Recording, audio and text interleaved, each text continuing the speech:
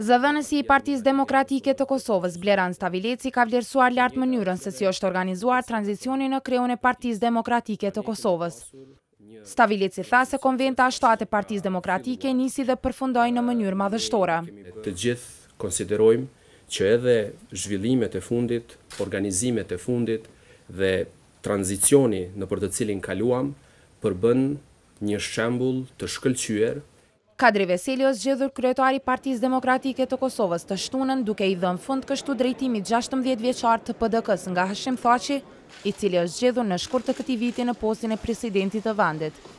Sipas Stavilecit, i cili është ministër i Zhvillimit Ekonomik në Qeverinë e Kosovës, nëse shikohet tranzicioni nëpër të cilin ka kaluar, kuptohet se dallon Partia Demokratike e Kosovës nga partitë e tjera.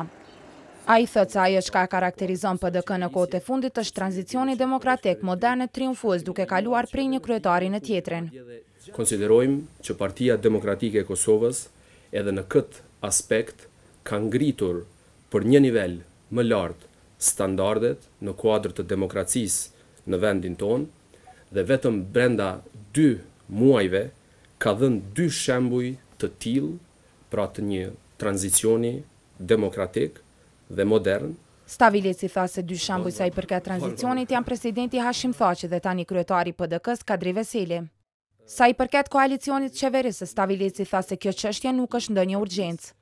Nuk është se vetëm në një brenda një dite ose për brenda një akti do të bisedojnë për çështje të rëndësishme për sa i takon koalicionit, por ky është një proces i vazhdueshëm dhe sigurisht që kohë pas kohe vazhdimisht do të ketë rifreskime në kuptimin jo vetëm të njerëzve, pra të strukturës njerëzore, po edhe të proceseve, të strukturës së proceseve, në mënyrë që të kemi sa më shumë rezultate në kuadër të kësaj qeverisje. Stavileci foli edhe për kandidaturën e vetme për kryetar të PDK-së.